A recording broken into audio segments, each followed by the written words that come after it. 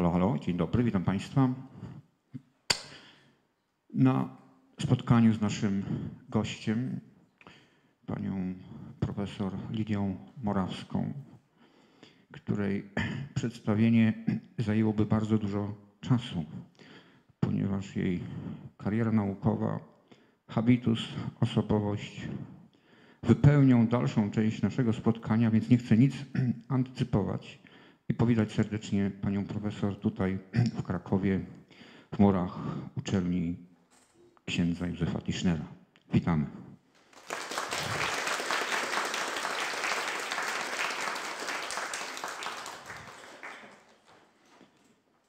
Witam również pana profesora Konrada Szychowskiego, zaprzyjaźnionej partnerskiej uczelni Wyższej Szkoły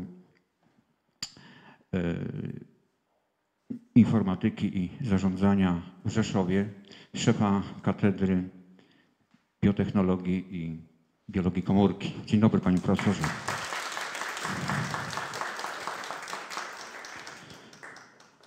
Razem z panią rektor zapraszam państwa na pasjonujące spotkanie z naukowcem, którego wita być może w innych dziedzinach, a być może niekoniecznie, zainspiruje Państwa jako młodych ludzi, którzy sięgają tam, gdzie wzrok nie powinien sięgać, do potężenia tymi śladami. Pani profesor, bardzo serdecznie witamy i oddajmy Pani mikrofon. Dziękuję bardzo. Tylko się upewnię, co. A to Dziękuję bardzo, dziękuję bardzo Pani Rektor za zaproszenie i bardzo się cieszę, że tutaj jestem z Państwem.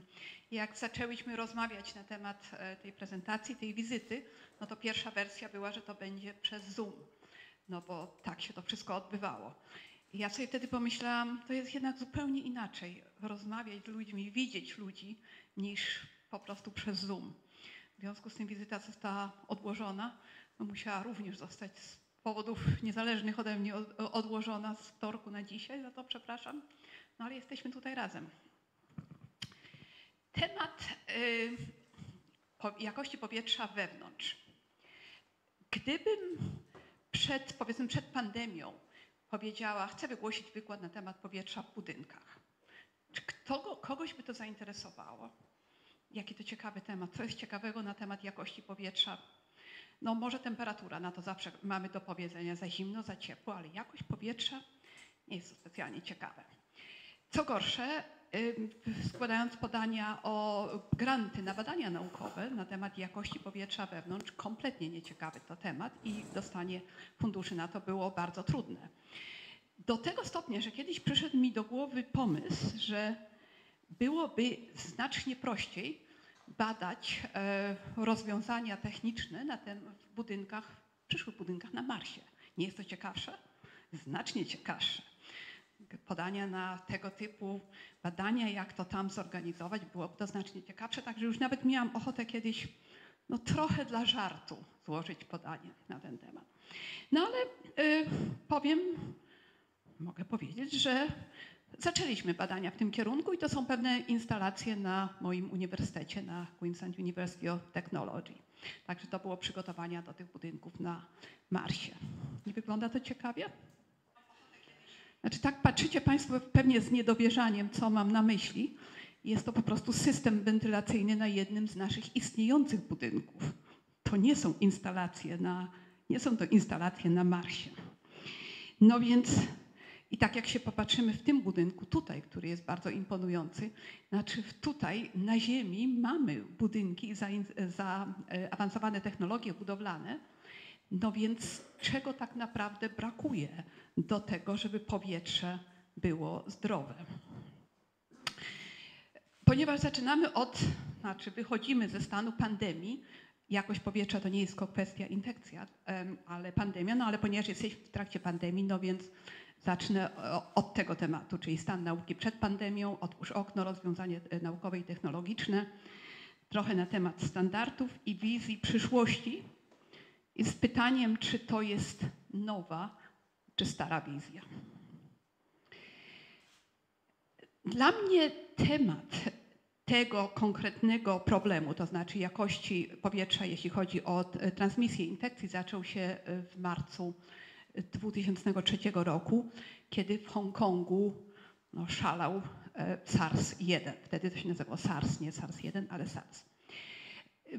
Zagadką było, której wtedy nikt nie mógł rozwiązać, dlaczego, jak to się stało, że w kompleksie budynków Amoy Gardens 300 osób zostało zarażonych od jednej osoby, która spędziła w jednym z tych budynków jedną noc e, zarażonej osoby, odwiedzając swojego brata. E, Teorie, jak to mogło nastąpić, były fantastyczne. Do tego stopnia, że czasopismo Lancet opublikowało artykuł na temat szczurów, szybko biegających szczurów, które rozniosły jakoś ten wirus między tymi dwudziestoma kilkoma e, budynkami. Trudno sobie to wyobrazić było, no ale Zostałam zaproszona wtedy przez Światową Organizację Zdrowia WHO do y, dołączenia do ekipy, to, się nazywało wtedy Aerosol Experts, e, ekspertów aerozoli, żeby tę zagadkę wytłumaczyć, a była tam już ekipa epidemiologów, która nie była w stanie tego rozwiązać. Muszę przyznać, że wizja y, podróży do Hongkongu w trakcie tej epidemii była dla mnie przerażająca. Miałam kilka dni do odpowiedzi, no i pamiętam, e, znaczy układałam sobie w myśli e-mail, jak to wytłumaczę, że ja to będę z Brisbane się im, ich wspomagała, nie jadąc do Hongkongu. No ale na szczęście nim, nim, nim ten e-mail wysłałam, misja została odwołana, no bo na miejscu już nie było dowodów, no więc no ale wtedy zaczęłam się tym tematem interesować, znaczy przede wszystkim popatrzyłam na co zostało opublikowane z punktu widzenia fizyki em, infekcji. Ze zdziwieniem stwierdziłam i znalazłam tylko trzy publikacje na przestrzeni 60 lat na ten temat, więc to było dla mnie fascynujące. Taki in, taka ważna dziedzina i tak kompletnie nie, em, niebadana. Więc to, to do, dołączyło wtedy do, do całego e, naszego portfolio badań dotyczących cząsteczek w powietrzu. No więc zacznijmy od zakażenia drogą powietrza. Co wiedzieliśmy przed pandemią? Znaczy ja wspomniałam, właśnie powiedziałam cząsteczki. Znaczy przedtem zajmowaliśmy się głównie cząsteczkami, które się nazywają ultramałe, pochodzące głównie z produktów spalania. Natomiast to są cząsteczki nieco większe. Pierwsza, e, w pewnym sensie fascynująca dla mnie było na, na początku tej epidemii wielkie dyskusje, które się zaczęły na ten temat, czy to jest aerozol, czy to jest kro- kropelka, to, co jest w powietrzu. W naukach o aerozoli, jeśli chodzi, w naukach fizycznych, aerozol, definicja jest taka, jest zespół ciekłych lub stałych cząsteczek, to podkreślam, zawieszonych w gazowym medium wystarczająco długo, aby umożliwić obserwację lub pomiar. Czy Państwo widzicie z daleka dobrze? Dobrze. Natomiast kropelka to jest cząsteczka ciekła, po prostu cie- ciekła cząsteczka. Nie ma to żadnego związku z rozmiarami ani z niczym innym. Natomiast jak się dowiedziałam w czasie e, pandemii w naukach medycznych, jest to zupełnie inaczej. Aerozole to są małe cząsteczki, kropelki większe cząsteczki, granica jest 5 mikronów i co kompletnie inne rzeczy się dzieją poniżej, kompletnie powyżej. Znaczy fizyka akurat w, tej, w ten sposób nie traktuje, e, czy grawitacja tego, co się dzieje. Nie, nie ma możliwości zasadniczo w tej chwili, żeby połączyć te dziedziny. W związku z tym najprostszym wyjściem, jakie znalazłam, uznać, nie mówimy na temat, czy to jest aerozol, czy kropelka, tylko po prostu jest to cząsteczka i jest to wtedy prawidłowo w jakiejkolwiek dziedzinie. No więc jak te cząsteczki powstają? Znaczy najprostsze wytłumaczenie tego to jest e, poprzez proces aerolizacji i możemy powiedzieć wynik przepływu powietrza strumienia z wystarczająco dużą prędkością nad powierzchnią cieczy. Gdzie jest ten strumień i gdzie jest ciecz w naszym układzie oddechowym. Nieraz porównuję ten proces do tego, co się dzieje w tej staromodnej buteleczce perfumy. Wyciskamy e, pstryka aerozol albo w nebulizatorze, który też wiele, wielu pewnie z Państwa e, używa. Tylko komplikacja polega, że w naszym układzie oddechowym to nie jest tylko jedna buteleczka perfumy, tylko wiele takich e, układów, wiele tych e, systemów. I nie tylko to jest proces aerozyzacji, ale mnóstwo różnych innych procesów, które się tam odbywają. Więc jeżeli popatrzymy na to, co się dzieje w, e, w dolnej układzie, w, w rejonie oskrzelikach, no to wygląda to w ten sposób, jak wydychamy y, powietrze, no to wtedy się zamyka, zamyka się przepływ i y, y, kanaliki są wypełnione cieczą. Jak powietrze idzie w drugą stronę, no to to pęka i, i powstają w ten sposób cząsteczki. W krtani nieco inaczej. Aerozol podczas dźwięków, podczas drgania fałd głosowych, więc znowu inny proces. No a w jamie ustnej całe mnóstwo różnych procesów. Nieraz widzimy, jak ktoś jest bardzo podekscytowany, te cząsteczki widać, jak są e, wydzielane. Także, więc to jest początek tego całego skompliko- ko- skomplikowanego procesu. Jak cząsteczki zostaną uformowane, to nim zostaną jeszcze wyemitowane, całe mnóstwo różnych procesów dalej następuje i e, na przykład osadzanie się. E, Także no jest to troszkę skomplikowany proces. Bardzo ważnym sp- e, sprawą tutaj jest, czego pewnie sobie niekoniecznie sobie zdajemy sprawy, że nie ma żadnej możliwości mierzenia tych procesów bezpośrednio, tylko modelowanie i symulowanie.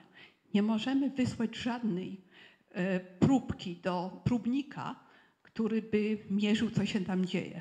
Mówiliśmy o tych nanocząsteczkach. Ja teraz mówię, może jakieś nanoboty będą istniały, które da się wysłać tam i które będą, ale na razie takiej możliwości nie ma. No ale mimo wszystko, e, jeśli chodzi o wykrywanie tych cząsteczek, no to wiemy na ten temat dosyć dużo, tylko nie to, co się w środku dzieje, tylko jak cząsteczki zostaną wyemanowane. Na początku pandemii w wielu, y, pa- no wiele razy się zdarzyło, że ktoś ze środowisk medycznych zwracał się do nas z prośbą przynieść swój e, particle counter, czyli e, miernik cząsteczek, przynieść, mierzymy, chcemy coś ustalić, jakieś nowe zabezpieczenie pacjentów czy coś takiego, no po prostu przynieść ten miernik, wszystko będzie prosto ustalone. No nie jest to takie proste, to znaczy, żeby coś, żeby coś co ma znaczenie, em, zmierzyć, no to jest to co nieco skomplikowane.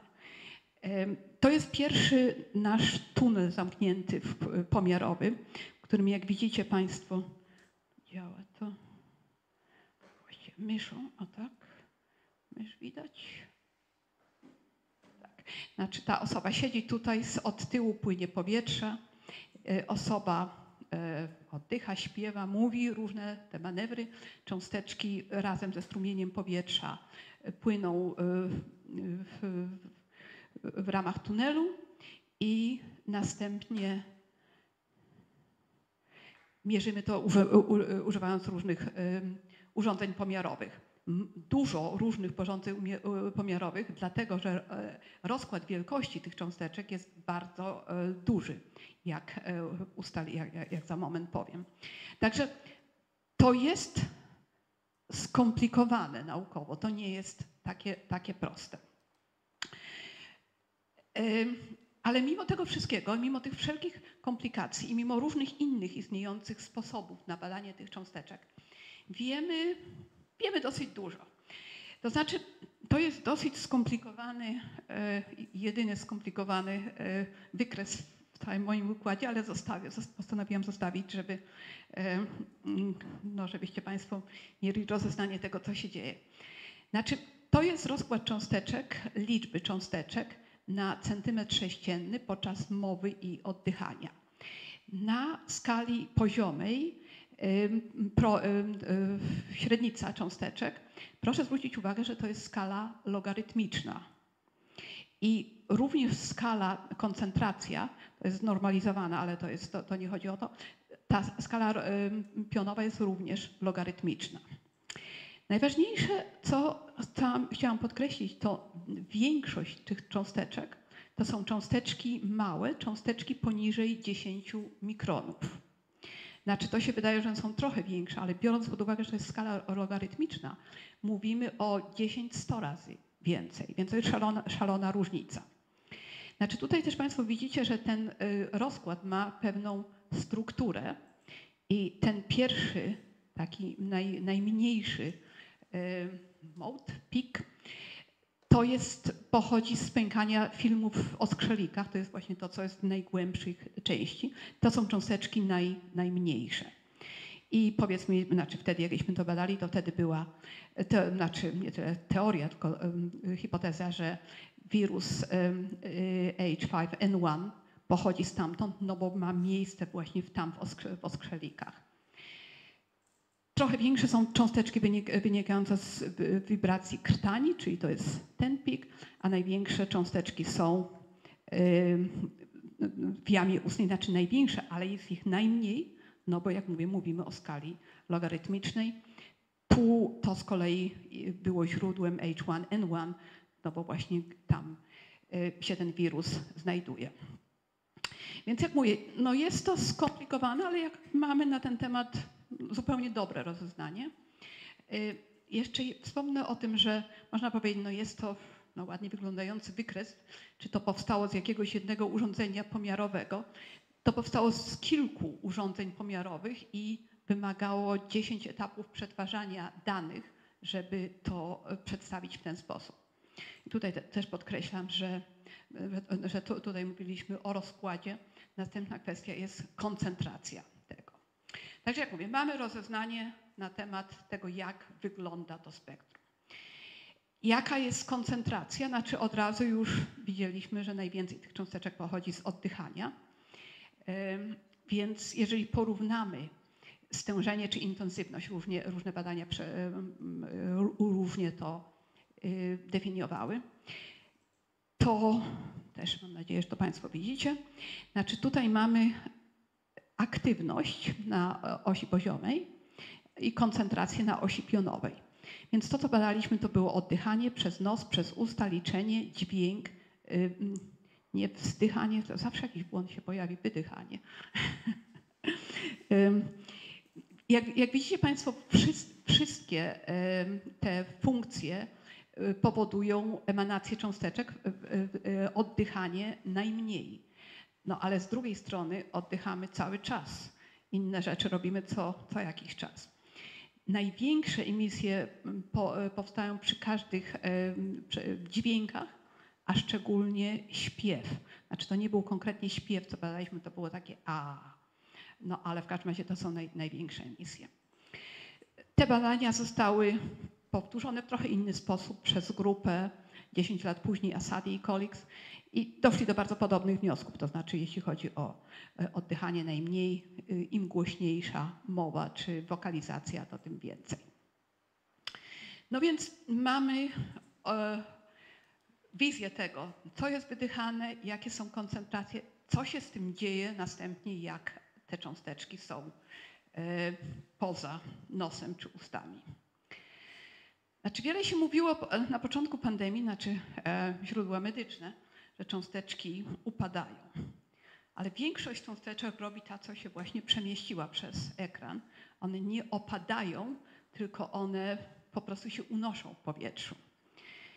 Jeżeli popatrzymy na e, obliczenia, które zostały e, wykonane bardzo dawno temu przez Wellsa, to jest taki ojciec, jeżeli możemy w ten sposób powiedzieć, tego typu badań, no to e, porównanie średnicy cząsteczki i tego czasu opadania, opadania w cudzysłowie, no bo opadanie, gdybyśmy tylko mówili o opadaniu, no to mówimy tylko o grawitacji. No ale ta cząsteczka się unosi w powietrzu i różne inne, i prądy powietrza, no i opór powietrza. Więc jeżeli popatrzymy na cząsteczki, te, których jest najwięcej i te, które są najważniejsze, no to jak widzimy, że czas tego opadania tej jednomikronowej cząsteczki to jest 30 tysięcy sekund. No więc ta cząsteczka po prostu jest w powietrzu, a nie opada. Można to przedstawić w ten sposób. Y,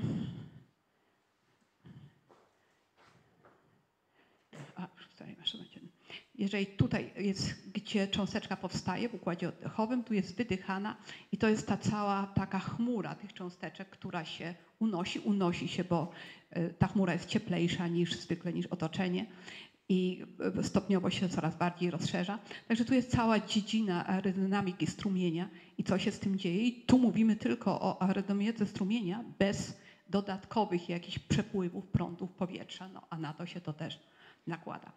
Fizyka i zrozumienie tego typu procesów jest y, bardzo dobre. Jeżeli teraz to wszystko zbierzemy i po, przedstawimy w kwestii ryzyka infekcji drogą oddechową. To była moja pierwsza publikacja, jak zaczęliśmy się tym zajmować, pod tytułem Droplet, znaczy używałam, jak, ponieważ są to cząsteczki ciepłe, używałam terminologii droplet, e, los cząsteczek powietrzu, czy możemy przeciwdziałać e, rozprzestrzeniania się infekcji. Proszę zwrócić uwagę, że to było w 2006 roku. Także to nie jest coś nowego. Wiele, wiele innych, e, ta, ta grupa kolegów e, dyskutowała rolę wentylacji.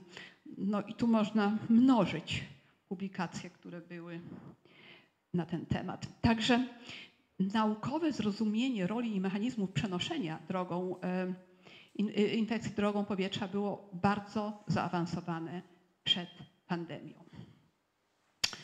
No i nadszedł marzec 2020 rok i pojawienie się tego ogłoszenia przez WHO. Fakt, że COVID is not airborne. Znaczy to była tego typu misinformacja, że to już nie jest powiedzmy dyskusja naukowa, prze, prze, przeinaczenie tego. To było tak istotne i miało tak ogromny wpływ na to, na cały los potem, jak pandemia będzie kontrolowana, że w tym momencie stwierdziłam, że coś na ten temat musi być zrobione, że nie możemy tego. Także to był po, początek well, z walki z WHO, z czym ze inną, e, inną częścią WHO niż z tymi ludźmi, z którymi pracowałam przez całe lata, jeśli chodzi o jakość powietrza. Więc dlaczego WHO odrzuciło tę naukę, to jest powiedzmy temat na inną, długą prezentację, no ale to był, to był właśnie problem wtedy. Nowe dowody, akceptacja dla, dla mm, tego typu zakażeń. Znaczy, głównym w, w, w czasie tej pandemii powstało e, e, setki tysięcy publikacji znaczy w mojej, w takiej małej biblioteczce publikacji, no to mam w tej chwili ponad 3000 tego, co bezpośrednio. Każda pandemia w dziedzinach ludzko, w dziejach ludzkości posunęła wiedzę na różne tematy, więc tak samo ta pandemia. Niektóre z, te, z tych, um, znaczy wiele z tych publikacji to nie jest coś nowego, coś, coś całkowicie, czego nie wiedzieliśmy, tylko to jest po prostu konsolidacja wiedzy. I w tym wypadku tutaj konsolidacja to jest to uświadomienie, że to zakażenie drogą powietrzną to jest po prostu wdychanie cząsteczek z wirusem. Tak banalnie i tak po prostu, jak to jest. Więc jeżeli mamy osobę zainfektowaną tutaj, y, gdzieś w dalszej odległości są osoby, które wdychają powietrze, więc tak jak się głównie, jak WHO chciało to przedstawić, to zakażenie drogą powietrzną gdzieś tam dalej, ten metr, dwa metry czy ile, ale my oddychamy w każdej odległości, także zakażenie drogą powietrzną to jest w każdej odległości pod warunkiem, że mod tego to jest e, oddychanie. Także od początku pandemii była eksplozja badań na temat tego wirusa, konsolidacja badań na, na, na, szerzej, nie tylko na temat tego wirusa. No więc w końcu WHO musiało ustąpić. Znaczy nastąpiło to po całych długich trzech miesiącach, odkąd zaczęliśmy z nimi rozmawiać 1 e, kwietnia 2020 roku. Dopiero po, po opublikowaniu tej, to się nazywało wtedy list otwarty, WHO uznało pojawiające się dowody. Znaczy, jak wytłumaczyłam, te dowody były długo, długo przedtem. Ale trochę trudno jest zrobić takie, to się mówi po polsku U-turn, e, jak się powiedziało przedtem, że to nie jest, wirus nie jest e, w powietrzu. Znaczy od tego czasu trzeba przyznać, że e, wiele, y, wiele było znaczy zaleceń na temat wentylacji. Na przykład tak jak tutaj ten wentylacja pomaga w zapobieganiu rozprzestrzeniania się wirusa w pomieszczeniach. Tylko problem z tym, że jeżeli się wentylację odłączy od tego stwierdzenia, że wirus jest w powietrzu, to wtedy władze lokalne, no wentylacja, no to pewnie jest tu wentylacja, no to jaki jest problem? Ale jak się nie połączy tych dwóch spraw i tego właśnie WHO w dalszym ciągu nie w pełni robi, no to nie wysyła to odpowiedniego sygnału do tych, którzy coś muszą zrobić na ten temat. No więc sytuacja się zmieniła, WHO przyznaje i na przykład to jest e, plakat, jeden z ostatnich e, na koniec, końcu tamtego roku, dobra wentylacja zabezpiecza przed infekcją. Znaczy, jeżeli, e, znaczy tutaj pewnie nie widać aż tych wszystkich szczegółów tego plakatu, ale tutaj najważniejszym tego elementem jest to, że jak popatrzymy, to na większość tego e, jest otwórz okno. Znaczy, otwórz okno, to rozwiąże sprawę. Znaczy, jeżeli jest to okno, jeżeli można otworzyć to okno, ale nie zawsze to jest możliwe. Więc wentylacja to nie jest tylko kwestia otworzenia okna. Znaczy, przede wszystkim to nie jest nic nowego. Tak jak powiedziałam, czy jest nowa wizja, czy stara wizja. Znaczy, pod tym względem jesteśmy tylko 160 lat do tyłu, kiedy Florence Nightingale e, promowała dobrą wentylację, znaczy do zabezpieczenia swoich pacjentów wtedy, w tych czasach. Pozostańmy przed, przez chwilę przy tym temacie naturalnej wentylacji, czyli tego, tego tematu otwórz okno. Domy, szkoły, restauracje, sklepy mają tylko, wiele z nich mają tylko taki e, system wentylacji. No więc, kiedy nie jest za zimno, nie jest za gorąco, nie jest za głośno na zewnątrz, nie ma problemu, okno jest otwarte i powiedzmy, że jest wystarczająca tych okien, że y, jest wystarczająca wentylacja. Ale w większości przypadków przez większą część czasu jest albo za zimno, albo za gorąco, albo za głośno, coś innego się dzieje, okna się zamyka, wentylacji nie ma.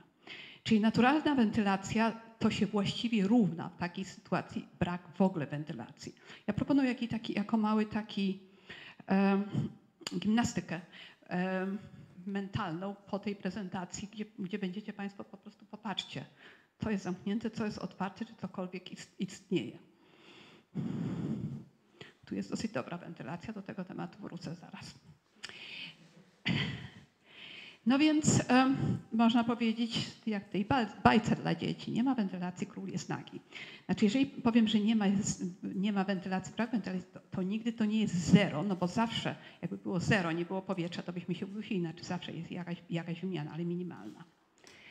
Znaczy, tu jest w tym wszystkim bardzo ważne i co chcę absolutnie podkreślić, że to, co powiedziałam, to jest nie negujące wartość naturalnej wentylacji, tylko sytuacje, kiedy jedyną, jedyną możliwością tej naturalnej wentylacji to jest otworzenie okna i nic więcej. Więc co rozumiemy przez naturalną wentylację? To, co właśnie mówię, to jest wietrzenie. Otwarcie okna, aby wpuścić, wypuścić powietrze. I problem z tym polega na tym, że może to nie zapewnić wystarczającej wentylacji, jeżeli tych okien nie ma wystarczająco, no i problem z energią jest, no bo zainwestowaliśmy w energię, w ogrzewanie, ochładzanie, otworzymy, no to energia jest stracona. Także na, tak naprawdę ta naturalna wentylacja to powinno być coś znacznie lepszego, to znaczy budynek, który jest odpowiednio zaprojektowany, tak, żeby dostarczać wystarczająco powietrza i w, w konkretnych warunkach klimatycznych i korzyści, zabezpieczenie wystarczającej wentylacji i energia zachowana metodami wymiany ciepła. Bo o tym nie możemy zapomnieć, że energia to jest bardzo ważna sprawa. Znaczy nie możemy powiedzieć, grzejemy, chłodzimy i nie przejmujemy się ilością energii. Budynki powinny i muszą zużywać mniej energii niż używają teraz. Także to jest bardzo ważne. No ale jeżeli przejdziemy do rozwiązań naukowych i technologicznych w budynkach, które mają mechaniczną wentylację.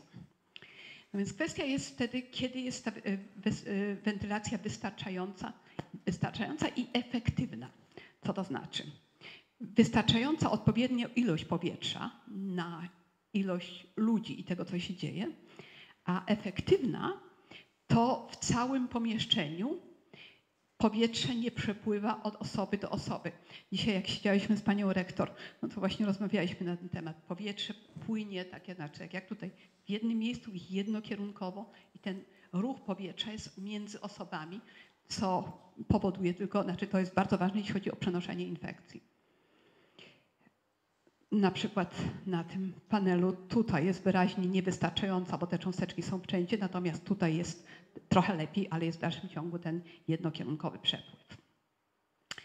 No więc jaka jest wystarczająca wentylacja z perspektywy przenoszenia infekcji?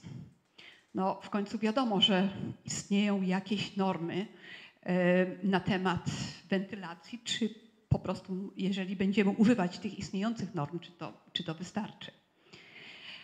Znaczy nie jest takie proste, dlatego że kwestia tego, ile tego wirusa jest, czy jakiego wirusa, czy jakiego patogena, bo mówimy o bakterii, to jest, to wymaga używania modeli i narzędzi oceny ryzyka.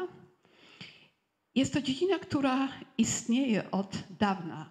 E, właśnie wspomniałam przedtem Wellsa. E, jest to bazowane na równaniu Wellsa-Riley, stosunkowo proste równanie. Podczas tej pandemii ten model został, znaczy to mnóstwo tych rozszerzonych modeli powstało, biorąc pod uwagę wszystko, co wiemy na temat rozkładu cząsteczek i tak dalej. I w związku z tak zwanym kwantem. Kwant to dawka zakaźnych cząsteczek unoszących się w powietrzu potrzebna do wywołania infekcji u 63% osób podatnych. To nie jest tak, że wystarczy, że jeden wirus czy jedna bakteria, którą wdychamy, powoduje infekcję. To musi być pewna ilość i ta ilość zależy od y, konkretnego patogena. No ale w każdym razie, no powiedzmy, mamy, te, e, mamy ten model, czyli w takim razie wiemy, jak e, rozwiązać sprawę pozwalającą na kontrolowanie ryzyka. Wybierzemy model, jest, jak powiedziałam, jest ich mnóstwo, użyjemy model, obliczymy wymaganą wentylację i ustawimy wentylację. Proste? Znaczy, patrzycie Państwo, brzmi prosto, ale nie całkiem. Znaczy, pierwszy problem polega na tym, że każde wnętrze jest inne. Czyli to, że policzymy to dla jednego wnętrza, to tego nie możemy zastosować do innego wnętrza. E, czy każda szkoła, sklep, siłownia będzie uruchamiać model? Odpowiedź mamy na to pytanie. Ale jeszcze jest jeden problem, mianowicie może się pojawiać nowy patogen Divaren i pojawia się cały czas. I jak się na początku pojawi, to nie mamy zielonego pojęcia, jaki jest ten kwant. Czy to jest tak samo jak poprzedni wariant, czy nie. Dopiero po paru miesiącach, powiedzmy, jak wystarczająco było tych infekcji, zaczynamy mieć mniej więcej rozeznanie na ten temat. No więc w takim razie nie jest to możliwe. Ale jest jeszcze jedna kwestia. Powiedzmy, obliczymy tę wentylację, jaka wentylacja będzie potrzebna. Czy możemy tę ilość wentylacji doprowadzić do budynku?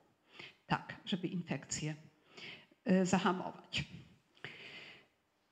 Tutaj zrobiliśmy e, z e, grupą kolegów takie małe porównanie. To jest przewidywany rozkład współczynnika emisji kwantowej. E, I to zrobiliśmy dla paru e, różnych patogenów, to znaczy zaczynając od SARS-1 e, poprzez, znaczy measles to jest odra. SARS-2 się uplasował tutaj, z tym, że to był SARS-2, to był pierwszy wariant. Gdyby to był omikron, zaraz do tego przejdę. W każdym razie, co możemy powiedzieć? To jest ten, ta ilość kwantów e, i, i widać, które, e, które patogeny są bardziej, e, mają większą liczbę tego. Tutaj to było w tej publikacji. Natomiast tutaj, jeżeli popatrzymy na, na nasze dodatkowe obliczenia, to było na delta, to jak widzimy delta jest bardziej zaraźliwa niż jakikolwiek inny dotychczas patogen, a omikron jest jeszcze bardziej niż delta. Ale nic, no w każdym razie mamy te obliczenia i teraz cośmy z tym zrobili.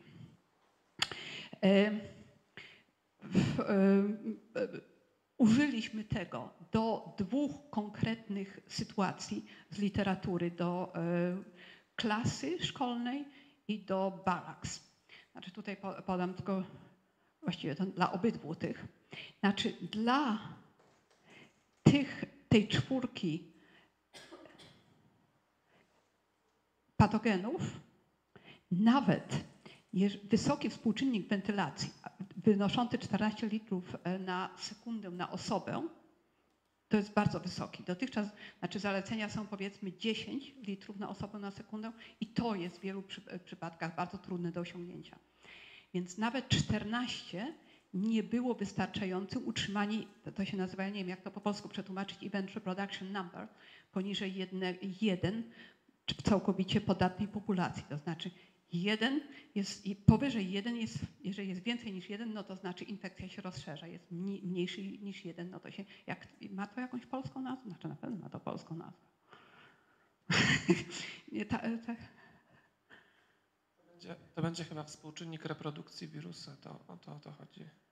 No, e, nie, nie współczynnik reprodukcji wirusa, tylko infekcji. Infekcji. To znaczy, że. Rozprzestrzeniania tak, się. czyli powiedzmy jest jedna osoba zainfekowana, w jakimś środowisku i e, jakieś osoby zostaną zainfekowane, ale mniej niż jeden. Jeżeli mniej niż jeden, to się rozprzestrzenia. Jeżeli więcej niż jeden, no to się rozprzestrzenia, bo coraz więcej jest. Także tak, takie to ma.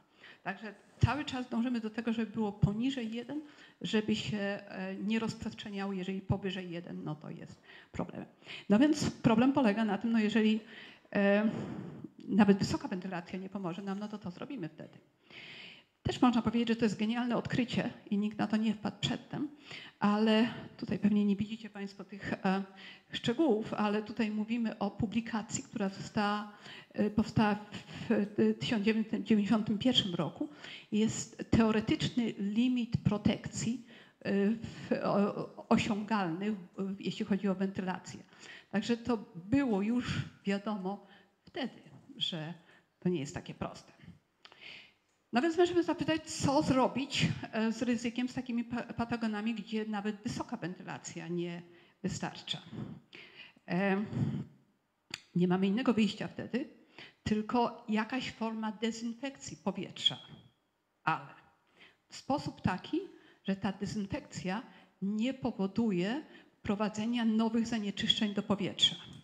W czasie tej pandemii słyszałam przerówne, fantastyczne rozwiązania. Na przykład e, parę, parę, parę osób proponowało, o których e-maile dostałam, spryskanie bąbelkami e, mydła e, czy czegoś takiego. Wprowadzimy tych bąbelek mydła mnóstwo. To, że będziemy to mydło oddychać później, no to, to już drobny szczegół. Także bardzo ważne jest to, że cokolwiek robimy, nie, powstaje, nie powstają inne zanieczyszczenia. I na to technologia istnieje. Bakteriobójcze promieniowanie ultrafioletowe, niskie wymagania energetyczne nie generuje zanieczyszczeń, bezpieczne, tanie, ciche, e, bo niektóre powiedzmy, jeżeli mówimy o filtrach przenośnych, no to zwykle jest hałas, które, który powoduje, nie mówiąc o zużyciu energii.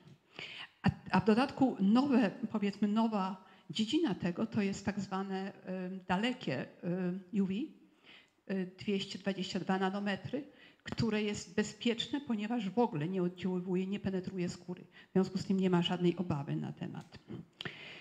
Także robilibyśmy z powietrzem to, co robimy z wodą. Każda kropelka wody, którą pijemy, jest dezynfekowana.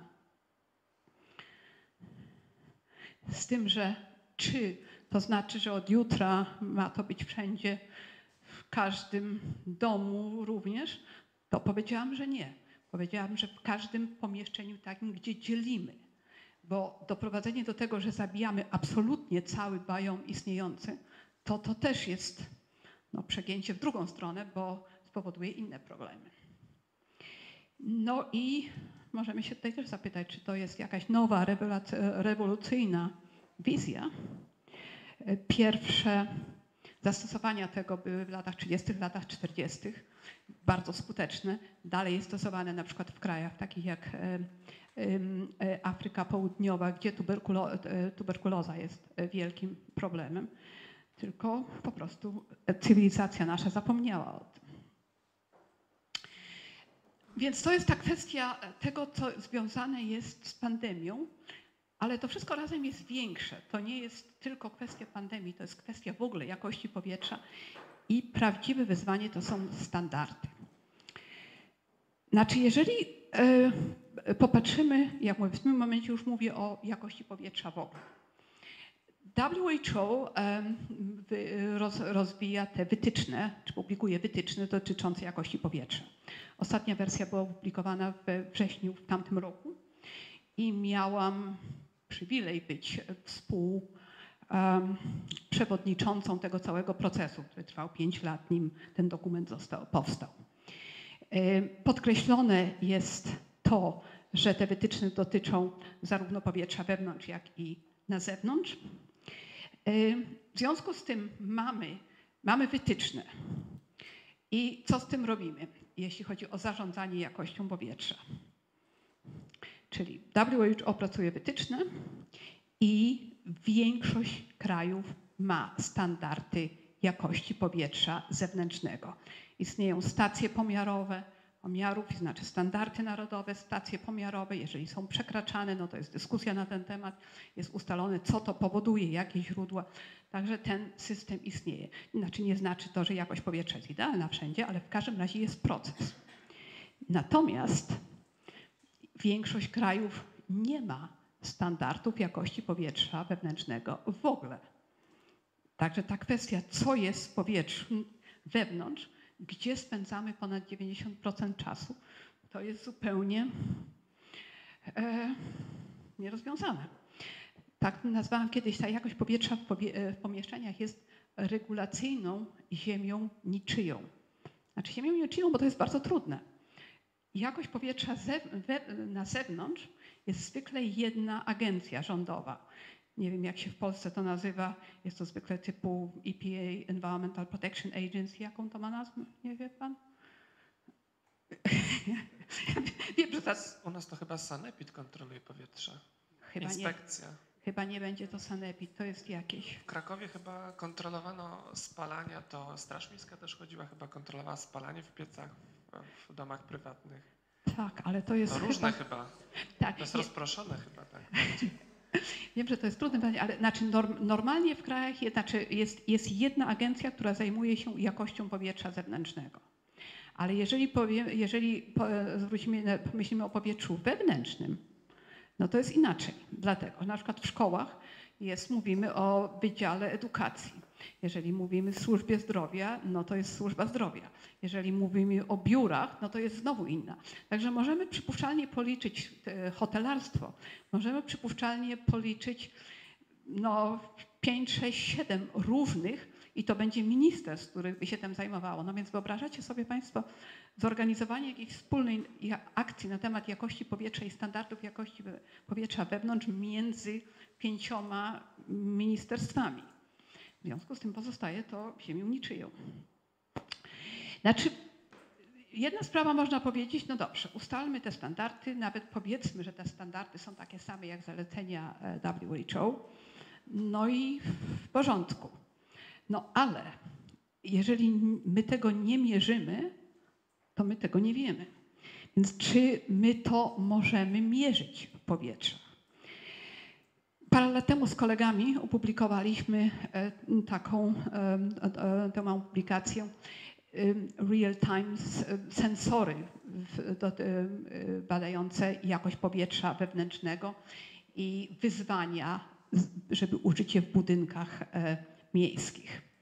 Znaczy, wtedy doszliśmy do wniosku, że ym, głównym problemem jest brak świadomości zagrożeń wewnątrz i dostępności regulacji. Znaczy, zasadniczo tak, ale nie tylko.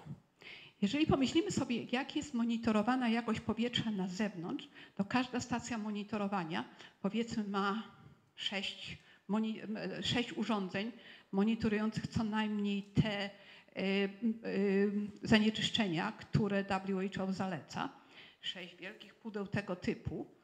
To nie jest możliwe, żeby w każdym pomieszczeniu było sześć wielkich pudełek, które to jest absolutnie niemożliwe. W związku z tym my musimy mieć inne technologie, które będą stosowane także w każdym pomieszczeniu, bo jak nie są w każdym pomieszczeniu i nie są regularnie, no to, no to o, o czym my w ogóle mówimy.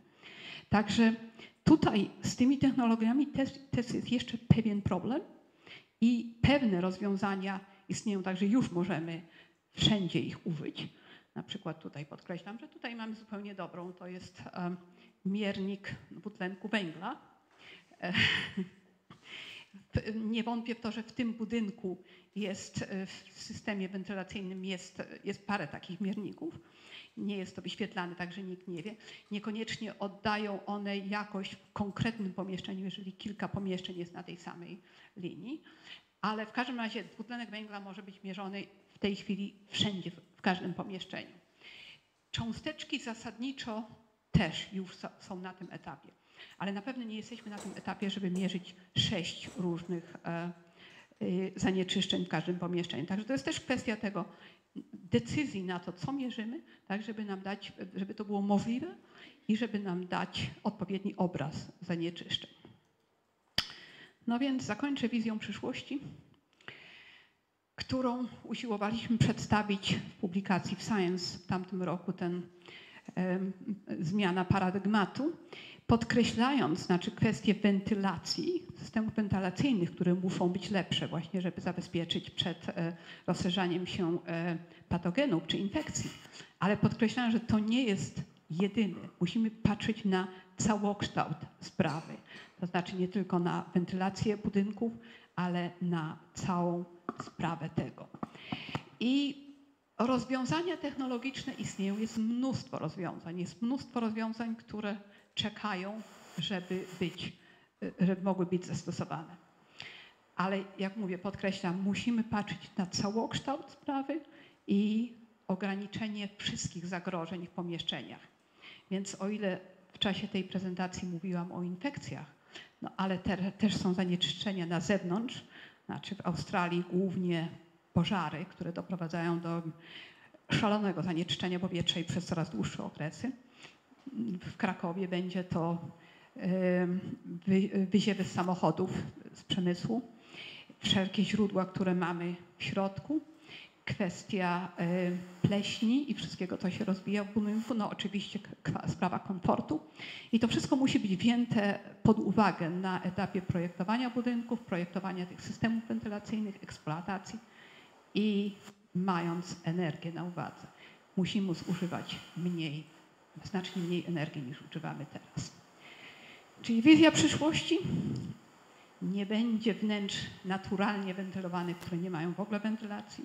Jak okna są zamknięte, normy jakości powietrza będą określały stężenia zanieczyszczeń w powietrzach i będą egzekwowane. Jak mówię, nie wszystkich zanieczyszczeń, ale wybranych zanieczyszczeń wentylacja w ramach tych systemów, no to, to HVAC to jest Heat Ventilation and Air Conditional System, będzie elementem e, egzekwowania norm i będzie wspomagana przez e, UV promieniowanie w celu kontrolowania infekcji przenoszoną drogą powietrza. I tutaj nie mogę się oprzeć refleksji,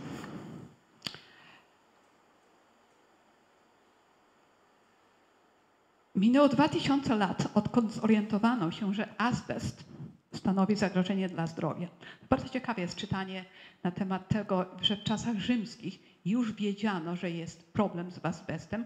Znaczy głównie na azbest byli e, nastawieni, narażani niewolnicy, no więc kto by się tym przejmował oczywiście, ale było to już wiadome, 2000 lat.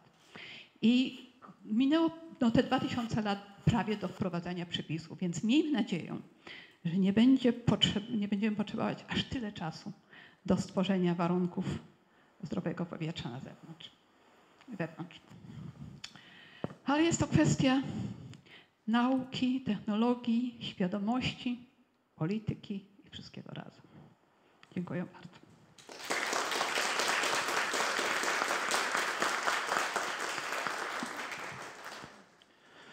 Bardzo dziękujemy pani profesor za ten ciąg wywodów, e, które mnie na przykład uświadomiły raz jeszcze o czym pani mówiła, ponieważ cała ta technika, cały ten bagaż e, wiedzy chemiczno-fizycznej, który pani tu ludzkim językiem zaprezentowała, ludzkim w tym sensie zrozumiałym, e, pozwoliły nam uświadomić, że pracuje Pani i także wykorzystała Pani w tej chwili tę, no nie wiem, przerwę w meczu z COVID-em. em, na e, zaprezentowanie e, opinii publicznej swoich badań naukowych, które otrzymują właśnie dzięki temu meczowi, który my rozgrywamy e, z COVID-em, dodatkową relewancję. Ale akurat w ostatnich swoich zdaniach wypowiedziała Pani taką, przez taką jedną szczelinę przebiła się świetna, błyskotliwa myśl nawiązująca do epoki rzymskiej. Rzymianie byli antyczni Rzymianie, którzy niewiele mają wspólnego z dzisiejszymi mieszkańcami Italii, podobnie jak Grecy nie mają wiele wspólnego z Achajami, tych, których znamy z okresu y, Homera, Iliady i tych wszystkich zmagań, które roz, y, bujały naszą wyobraźnię y, w dzieciństwie. No, antyczni Rzymianie, tak jak z tym azbestem, jak pani profesor y, wspomniała, byli bardzo pragmatyczni. Tak, pani profesor. Byli bardzo pragmatyczni i unikali wielu problemów, z którymi konfrontowani jesteśmy zupełnie bezradnie 2000 lat później. Na przykład budowa pomników. My przeżywaliśmy kilkukrotnie wymianę bohaterów na cokołach. Przeżywa to także wiele społeczności. Ostatnie e, rozrachunki naszej, e, naszego pokolenia z e, epoką kolonializmu. A Rzymianie byli bardzo, bardzo pragmatyczni. Oni stawiali cokół, tors i na takim wkręcali, wkręcali tylko głowę i wymieniali ją. Oszczędzali na energii, oszczędzali na sporach politycznych, na debatach. Po prostu byli bardzo praktyczni. Tak mi się to na- nasunęło, kiedy właśnie w tym potoku pani y, y, y, profesor wy- wypowiedzi płynął ten główny rdzeń przekazu. Bo on osadzony jest oczywiście w badaniach naukowych, w kontekście COVID-u, ale dotyczy oddychania. Czy czyli jestestwa naszego, czyli rdzenia naszego życia. Bez oddychania byśmy nie żyli. Tu oczywiście można byłoby nasuwać, nasuwa się porównanie z całą filmografią, całą produkcją filmową, która bez oddychania, czyli bez tego pocałunku nie może. Więc to mówiło mi właśnie przed kilkoma minutami relewancję e, Pani badań. A ja w takim razie mam takie pierwsze pytanie e, do Pani e, profesor czy y, ten COVID, y, czyli ten marzec y, 2020, y, 2020 kiedy sytuacja stanęła jakby przed takim no, potężnym wyzwaniem, jakby COVID chciał rzut karny naszej cywilizacji.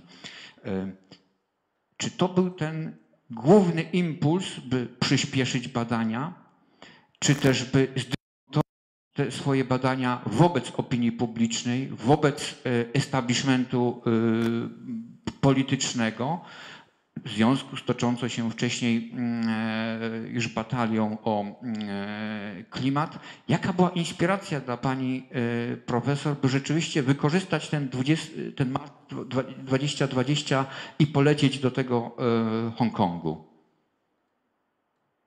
Znaczy marzec 20 w Hongkongu sprawa się działa w, w marcu e, 2003 roku.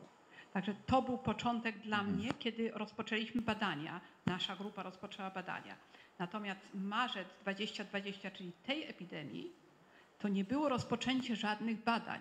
A przyspieszenie? Nawet, znaczy, oczywiście, znaczy, należało zbadać mnóstwo e, spraw, na przykład te kwanta emisji związane z tym wirusem, ale cały mechanizm fizyczny myśmy bardzo dobrze wiedzieli, jaki jest. Natomiast co dla mnie było e, momentem przełomowym, żeby coś zrobić na ten temat, to było, znaczy tak, ukazanie się właśnie tej e, informacji z WHO, że wirus nie jest w powietrzu, a równocześnie to, to była e, ostatnia sobota tego marca, a równocześnie rozmawiałam właśnie wieczorem, w tą sobotę wieczorem, moją z kolegą z Włoch. I on był, znaczy on powiedzmy jest w podobnej dziedzinie jak ja, raczej współpracujemy, ale on ma wiele kontaktów w środowisków medycznych. I on był przerażony tą sytuacją, jak wielu e, właśnie tych lekarzy, pielęgniarek, którzy robią wszystko tak dokładnie, jak jest e, zalecane, jak wielu choruje i umiera. No a oczywiście było to dla nas znaczy oczywiste dlaczego? Dlatego, że to, co nie jest w przepisach, to to, że oni muszą się zabezpieczać przed wirusem w powietrzu. W związku z tym to, że wszystko robią, myją ręce czy tak dalej, a jak się nie zabezpieczą przed wirusem w powietrzu, no to dalej to się dzieje, co umierają. No więc wtedy rozmawia właśnie ten, ten, ten, ten, wieczór, pamiętam dobrze, rozmawiamy, więc on mówi, no to słuchaj, może napiszemy, obydwoje napiszemy do władz włoskich i żeby im dać jakoś, no żeby się zorientowali, że, że muszą te przepisy zmienić. I ja tak sobie wtedy myślę, znając, mając wiele doświadczenia z usiłowaniem przekonania jakichkolwiek władz na jakikolwiek temat.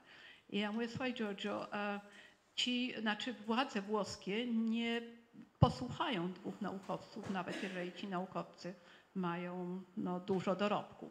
E, To, co trzeba zrobić, to trzeba po prostu uderzyć w WHO, żeby przestali e, propagować tę dezinformację.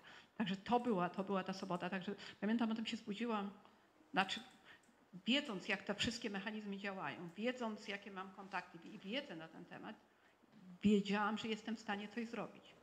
Ale miałam świadomość, że to nie jest powiedzmy napisanie jakiejś petycji czy czegoś. Także pamiętam, się zbudziłam e, w niedzielę rano i przypom- przypominając sobie tę- rozmowę i tak sobie pomyślałam, czy ja naprawdę chcę to robić i czy ja mam świadomość, e, jak to daleko pójdzie. Pewnie wtedy nie, nie miałam. Także to była, to motywacja była nie to, żeby zacząć badanie. Oczywiście później robi, robiliśmy te modele, robiliśmy i, i różne, różne obliczenia, ale głównym to było nie nowe badania, tylko uświadomić, wirus jest w powietrzu i musimy się zabezpieczyć przed wirusem w powietrzu.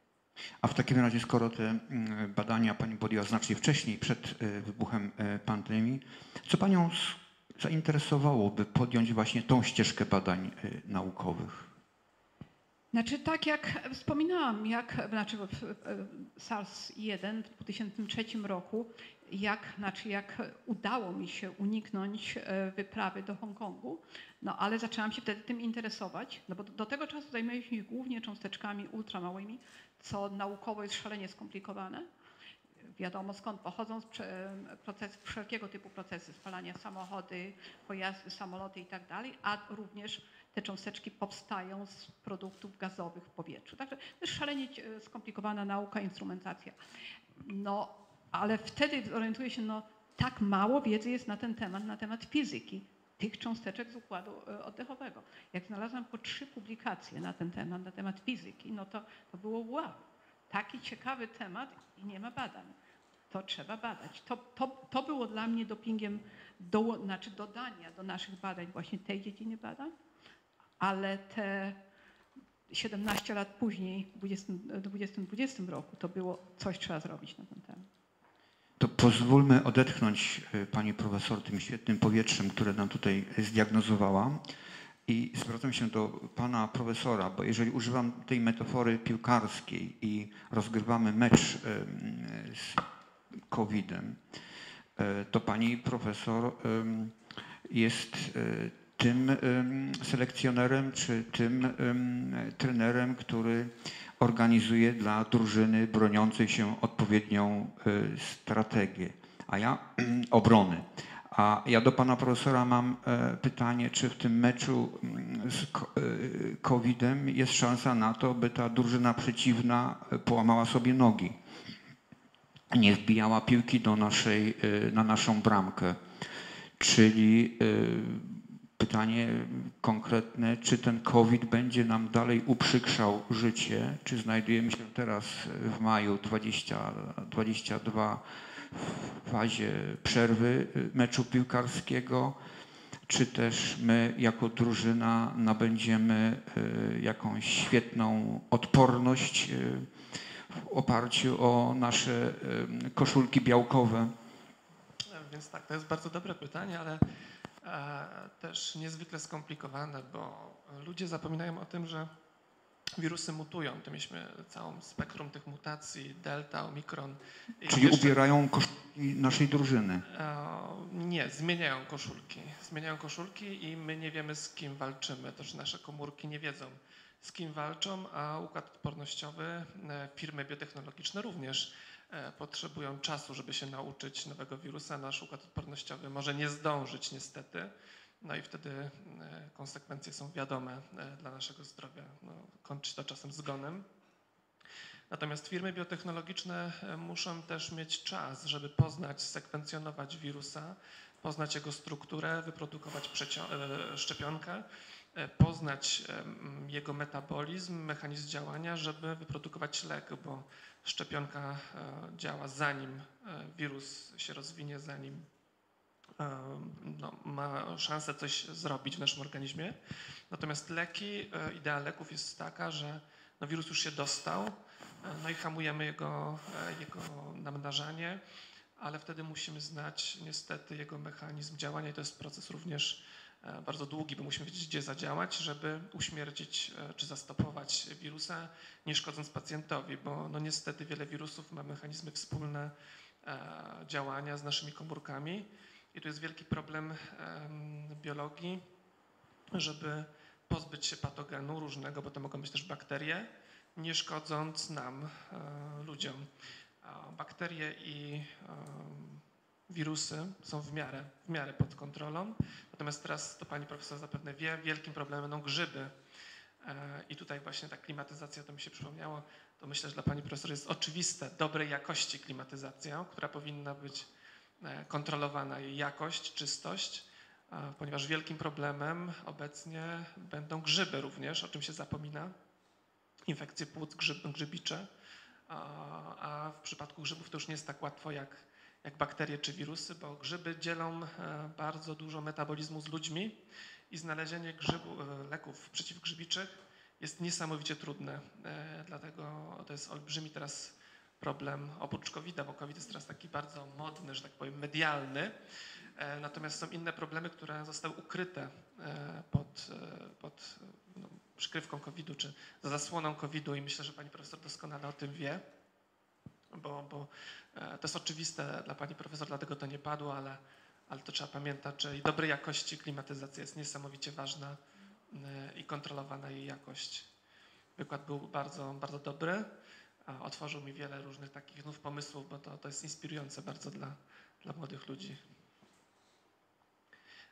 Jeżeli chodzi o takie pytanie, to, e, to ja bym chciał um, zapytać, jeżeli mogę oczywiście, bo wiadomo, że w naszym, w naszym mieście szczególnie jest duży problem czystości powietrza. Czy, czy pani profesor wie, albo, albo robiła może takie badania, które korelowały mm, może zaostrzenie mm, występowania chorób układu oddechowego czy COVID-a, nasilenie COVID-a z dużą ilością właśnie drobnych cząsteczek e, w powietrzu, czy, czy te cząsteczki mogą być jakimś dodatkowym nośnikiem wirusa, jeżeli już one są, nie, powstają po, po spalaniu, czy, czy może jest coś na ten temat wiadomo? To, to jest pytanie bardzo często zadawane i em, to jest ciekawa sprawa, znaczy e, właśnie to się wydaje to, że jest im więcej cząsteczek, większe zanieczyszczenie, no to tym większy problem, one mogą być nośnikiem. Ale tu są dwie sprawy. Jeżeli mówimy o zanieczyszczeniu, to mówimy zwykle o zanieczyszczeniu na zewnątrz. Na zewnątrz kwestia wirusa właściwie nie istnieje jako problem. Po pierwsze, dlatego, że na zewnątrz, na, zewnętrzne powietrze to jest ogromny rezerwuar, gdzie się e, rozprzestrzenia, także koncentracja przestaje być, no właściwie błyskawicznie przestaje być problemem. Oraz, a, powiedzmy na przykład słońce promienie ultrafioletowe bardzo szybko deaktywują ten, e, ten, ten wirus, czy różne inne. Także na zewnątrz kwestia wirusa nie jest istotna. Znaczy można teraz powiedzmy, znaczy wirusa przyłączanie się, więc jeżeli na przykład e, powiedzmy, nie jest już to kwestia powietrzna zewnętrzna, powietrze z zewnątrz wejdzie do tutaj, mamy tutaj zanieczyszczenie, no więc teraz kwestia, czy wirus się do tego przyłącza. Znaczy ciekawą sprawą jest to, że to, co mamy na zewnątrz, w tego typu środowiskach, to są głównie produkty spalania, to są głównie samochody, wszystko inne. A to są cząsteczki bardzo małe. Wszystkie produkty spalania powodują powstawanie cząsteczek właśnie tych ultramałych, no one trochę rosną. I te cząsteczki są znacznie mniejsze niż wirus. W związku z tym to nie będzie tak, że wirus się przyczepi do tej cząsteczki i ta cząsteczka go będzie niosła i roznosiła, tylko te cząsteczki się mogą przyłączyć do cząsteczek, te, które mają wirus. No i będą na tym, no ale wtedy to nie ma znaczenia. Także jeśli chodzi o tę, o tę sprawę, czy te cząsteczki cokolwiek robią na temat transport, nic. Natomiast istotną sprawą jest to, że jeżeli ludzie są narażeni na wy- wysokie koncentracje zanieczyszczenia powietrza, właśnie tak jak no, Kraków do tej pory był jednym z, z najgorszych miast w Europie, jeśli chodzi o zanieczyszczenie powietrza. W związku z tym ludzie mają już osłabione płuca i różne problemy, więc jeżeli do tego właśnie do tych osób doda się jeszcze COVID czy jakiekolwiek inne infekcje, no to wynik wtedy jest gorszy i choroba jest e, bardziej intensywna. Także to jest problem. Bardzo dziękuję. Panie profesorze, czy człowiek, który adaptuje się do em, środowiska, nie wykształci, biologicznie adaptuje się do środowiska przez wymianę komórkową, czy nie wykształci w sobie jakiejś takiej biologicznej rezystencji na to smrodliwe powietrze w końcu? Na nasze powietrze nie, to są e, miliony lat ewolucji. Natomiast człowiek tak szybko zmienia środowisko, tak szybko szkodzimy e, przyrodzie, że jest to no, niemożliwe w tak krótkim czasie. Nawet e, no, akurat bakterie to, to mają pewne możliwości, tam e, odstęp międzypopulacyjny to jest kilkadziesiąt minut, więc możemy sterować bakteriami, żeby wyhodować bakterie oporne na pewne zanieczyszczenia.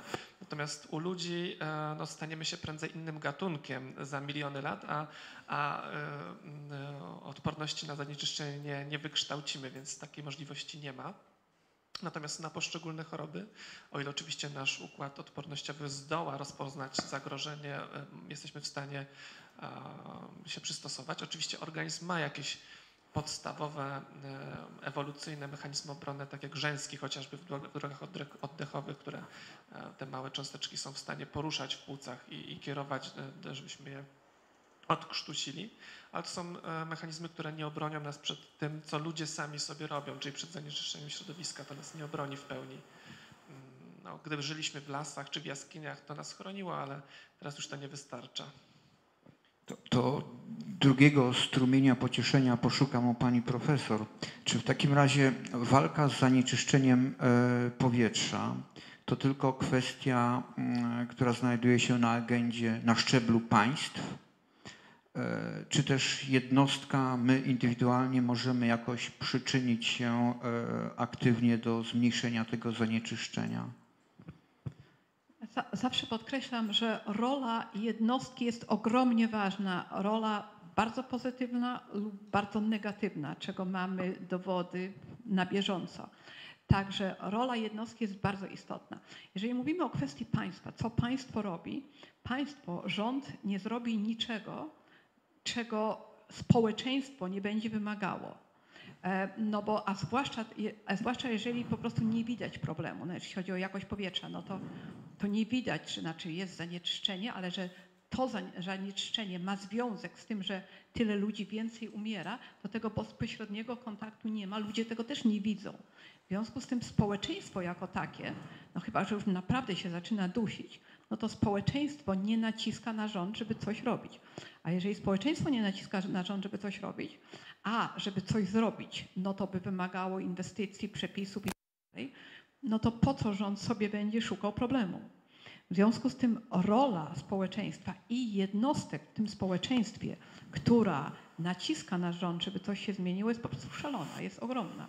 Znaczy, powiedzmy w przypadku tego, o czym mówimy, nacisk, znaczy no nie na rząd, tylko na WHO, gdybym ja wtedy nie wpadła na ten pomysł tego ostatniego marca 2000, że coś trzeba zrobić i na WHO nacisnąć i nie zgromadziła za sobą, końcu to było mm, prawie 240 naukowców, no to by pewnie się nic nie stało, bo znaczy w końcu by, w końcu, ale, ale by to dużo.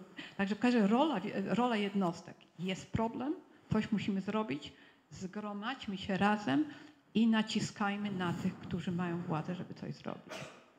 Trochę, trochę tu w Polsce i w Australii, w pani tym nowym mateczniku, mamy podobny problem, bo lobby węglowe zarówno w Polsce, jak i w Australii ma się tak e, dobrze jak e, gra w tenisa. Tak, na szczęście od dwóch tygodni w Australii już nie.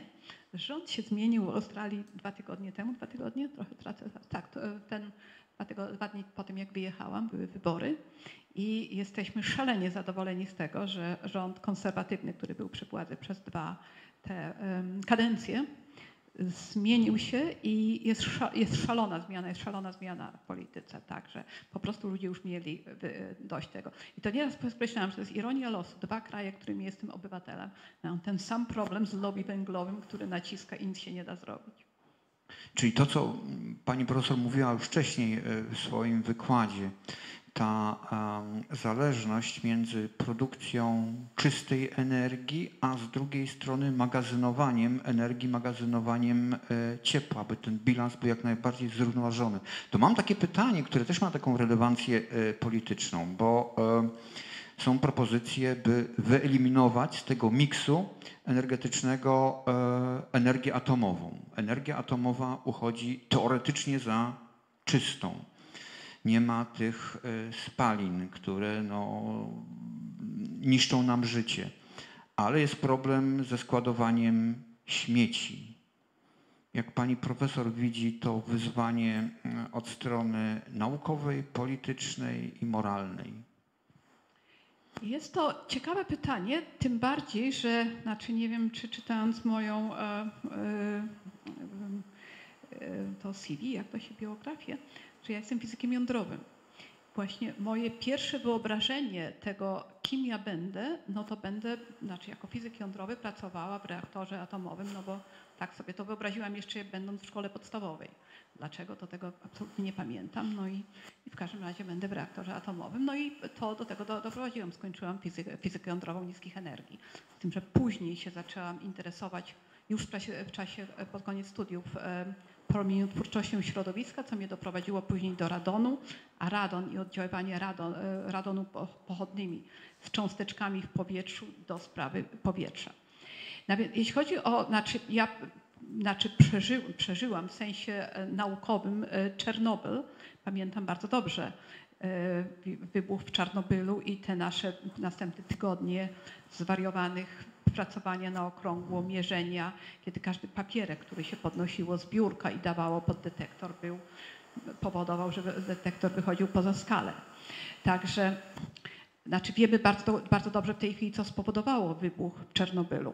Znaczy nie ma żadnych wątpliwości, że technologie, które istniały wtedy i istnieją teraz, są, są tak bezpieczne, jeśli chodzi o zabezpieczenie przed tego typu wybuchami. To do tego zasadniczo nie mam żadnej wątpliwości.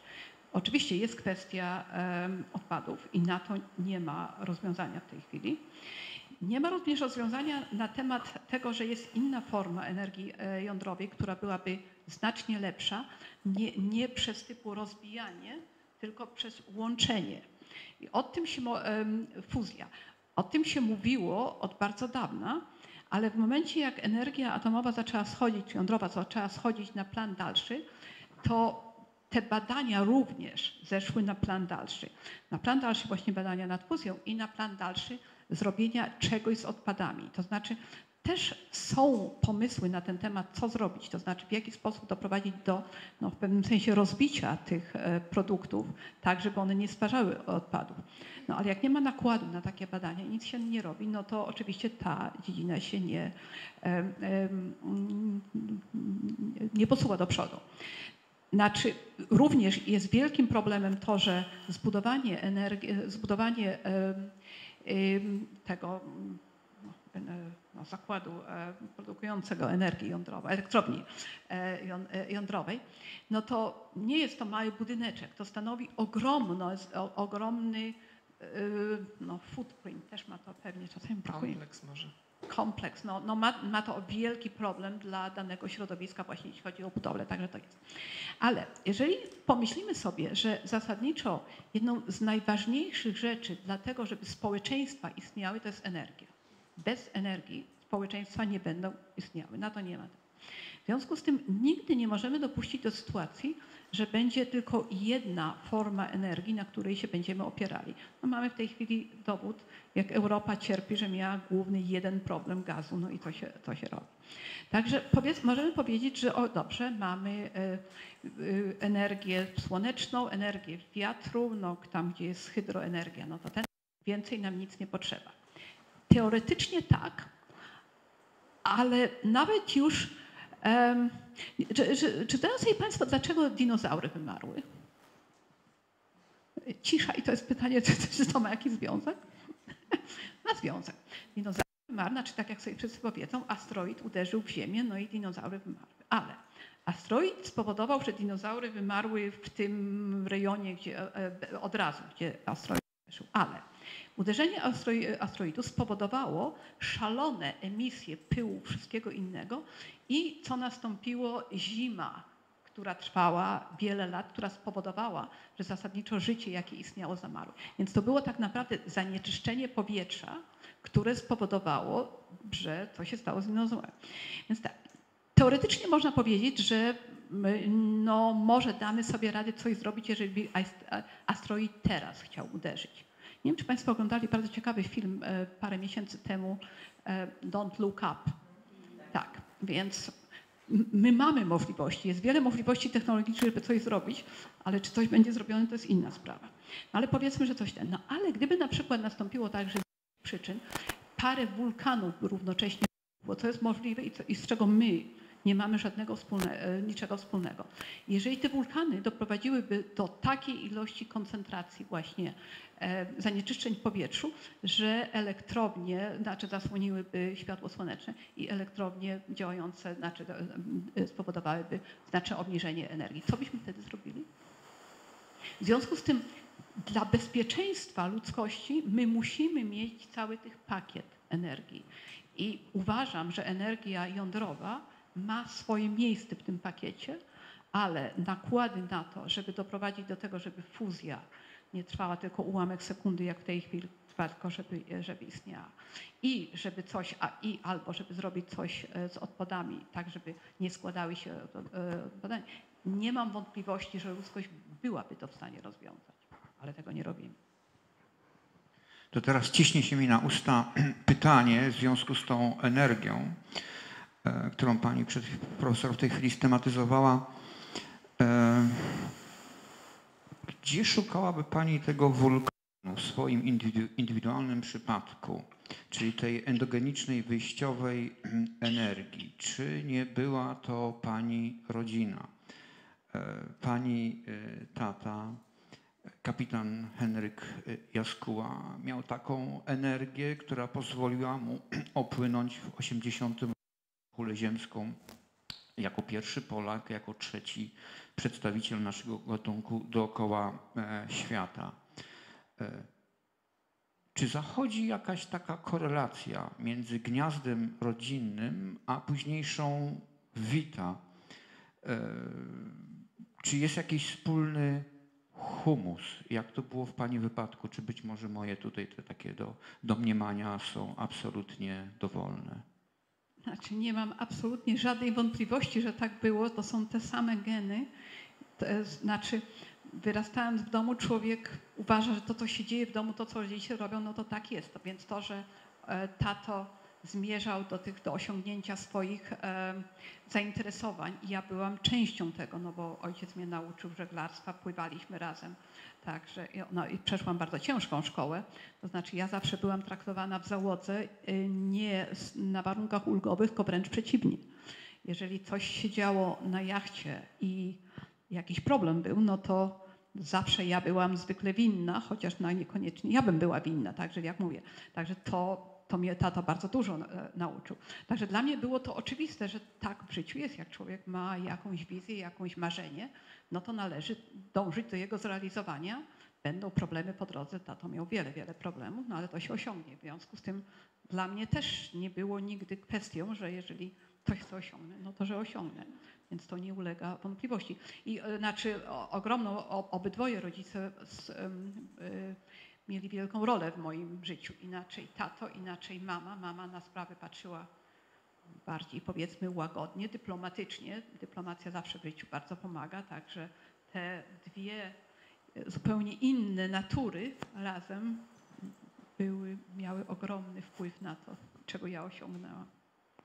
A potem studiowała pani mm, profesor tu w Krakowie na UJ w latach 80. I jeszcze przed no, tym potężnym politycznym trzęsieniem ziemi, czyli zniszczeniem tej biopolarności roku 89-90, kiedy upadł system e, określający właściwie do mm, końca, bo jeżeli przypominamy sobie nawet banalne olimpiady, gdzie ta rywalizacja między blokiem wschodnim a zachodnim była potężna, to ja mam takie pytanie właśnie nawiązujące do, do, do tej e, osi, ale e, takie trochę prowokacyjne, bo lata 80. w Polsce oglądamy zdjęcia, jak się żyło w Polsce, w tej właśnie części świata, za tą żelazną kurtyną, a pani profesor znalazła się właśnie przed tym 90 rokiem w Kanadzie. Kanadzie, która e, no, właściwie do dnia dzisiejszego jest takim modelowym państwem otwartym, państwem nowoczesnego społeczeństwa, podobnie jak mm, Australia. E, jakkolwiek w Kanadzie e, ostatnie doniesienia o, o szkołach katolickich, które praktykowały eksterminację e, dzieci in, indiańskich, burzą nam trochę tą, ten obraz Kanady, ale ten transfer siermiężnej Polski lat 80. do tej nowoczesnej Kanady, jeszcze jako dwudziestoparoletnia kobieta. To było takie jakby dotknięcie rany przez świętego Tomasza, rany Chrystusa, zupełnie nowe doznanie. Znaczy, oczywiście to było wszystko nowe wyzwanie, nowy świat, tylko jak człowiek jest w trakcie, to się dzieje, no to człowiek się nie zastanawia, że to jest nowe wyzwanie, tylko po prostu trzeba działać tak, żeby się w tych nowych warunkach ustalić, znaleźć i działać po prostu. No i, i to działanie cały czas, to to jest wymagane, powoduje, że człowiek się znajduje w tym. Znaczy, to było, ten, to było bardzo, e, bardzo trudnych, e, powiedzmy pierwszy rok, parę lat właściwie. Trudność polegała na tym temat, znaczy jechaliśmy z rodziną, e, z mężem i z dwiema córeczkami.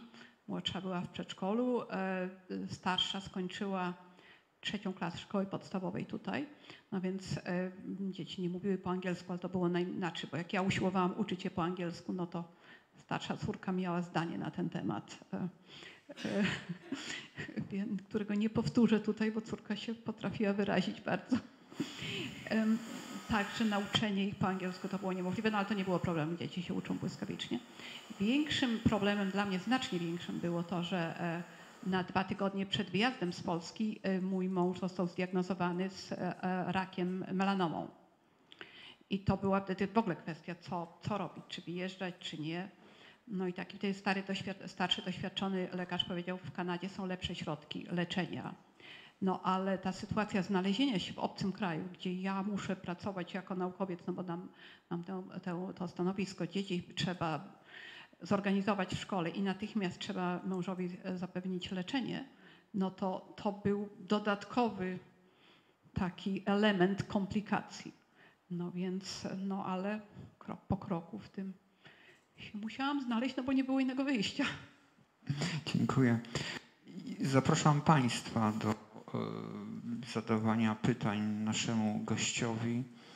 E, jak Państwo widzą, paleta pytań jest e, szeroka, bo nasz gość jest tak otwartym człowiekiem, że jest w stanie udzielić odpowiedzi na każde pytanie.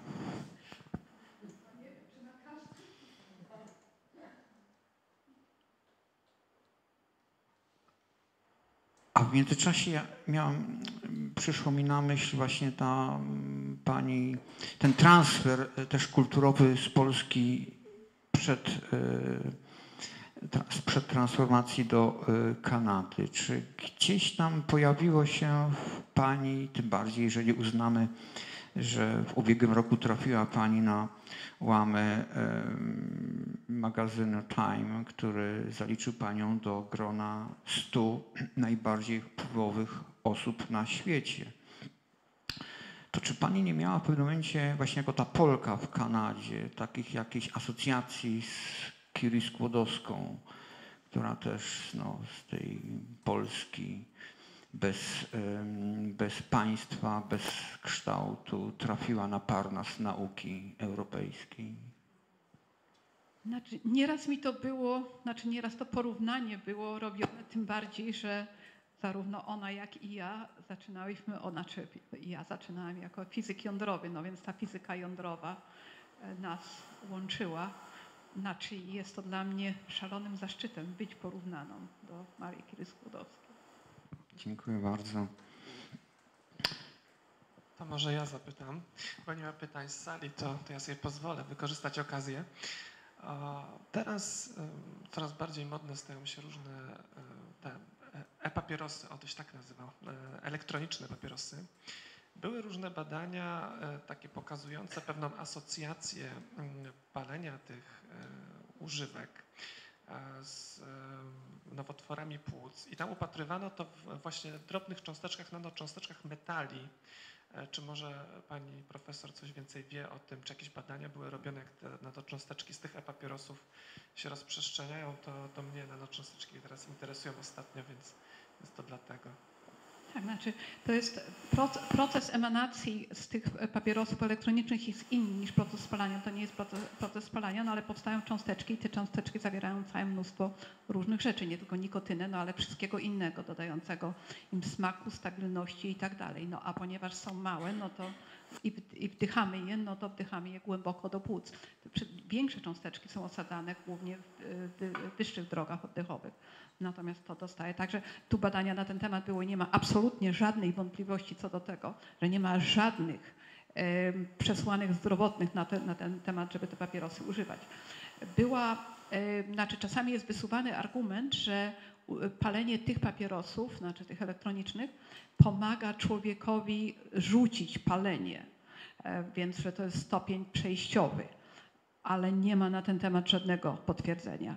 Także coraz więcej krajów po prostu e, tępi te papierosy i wprowadza zakazy, jak, znaczy te elektroniczne, jak każdego innego. Także jest to coś, czego nie należy w żadnym wypadku używać. Bardzo dziękuję. E, No jeszcze mi się ten, z tym azbestem nasunęło, bo, bo nanorurki swego czasu, też struktury tam w nanoskali, e, były właśnie okrzyknięte takim azbestem XXI wieku, że, że objawy też płucach były identyczne, też międzybłoniak powstawał, tak jak w przypadku azbestu. Mm, To właśnie też, e, też taka korelacja. Na, na, nanofibers, bo to azbest, znaczy, jeśli chodzi o azbest, no to po, polega to na tym, że długość, znaczy stosunek długości do średnicy jest bardzo duży i tak samo te nanofibers.